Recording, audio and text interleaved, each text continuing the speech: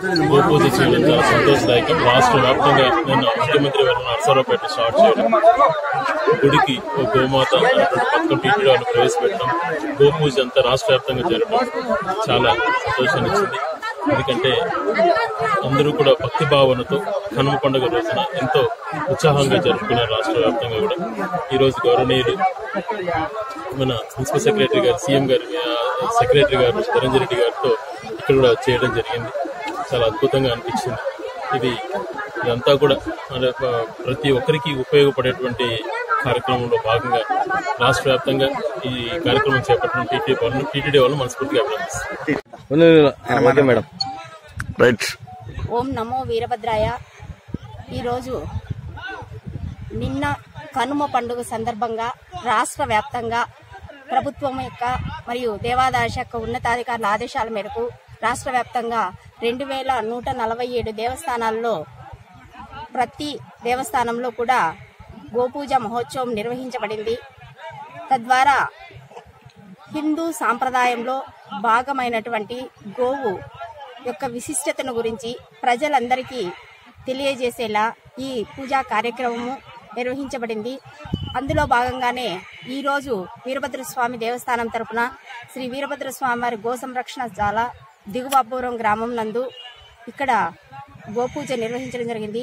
ఈ గోపూజ మహోత్సవానికి స్థానిక ఎమ్మెల్యే మరియు ప్రభుత్వ చీఫ్ విప్ అయినటువంటి శ్రీ శ్రీకాంత్ రెడ్డి గారి దంపతుల సమేతంగా హాజరయ్యారు. అదేవిధంగా ప్రభుత్వం యొక్క ముఖ్యమంత్రి గారి అదనపు కార్యదర్శి శ్రీ ధనంజయ రెడ్డి సార్ గారు కూడా ఈ గోపూజ మహోత్సవానికి విచ్చేసి ఇక్కడ ఉన్నటువంటి స్థానిక నాయకులతోనూ మరియు అర్చక సిబ్బంది ఈ గోపూజ కార్యక్రమాన్ని నిర్వహించారు.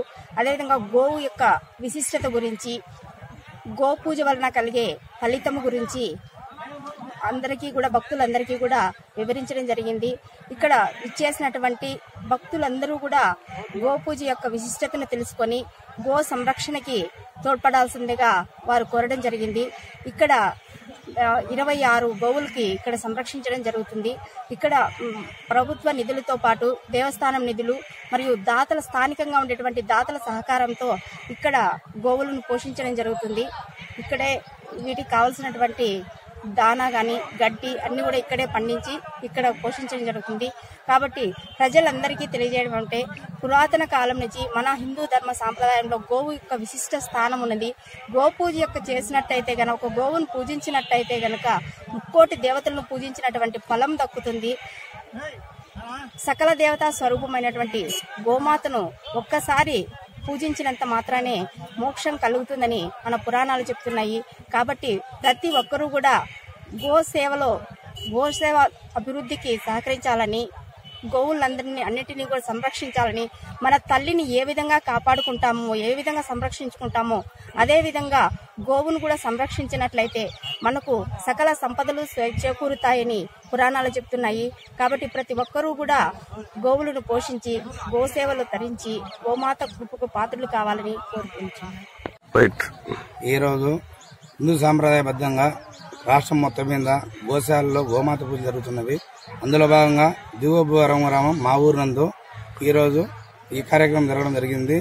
ఈ కార్యక్రమానికి ముఖ్య అతిథులుగా మన చీఫ్ శ్రీకాంత్ రెడ్డి గారు ధనంజయ రెడ్డి గారు గ్రామ ప్రజలు మన గ్రామ నాయకులు మన ఈరోజు స్వామి ఈవో మేడం మంజుల మేడం గారు అందరూ ఇచ్చేసి ఈ పూజా కార్యక్రమం దిగ్విజయంగా చేయడం జరిగింది.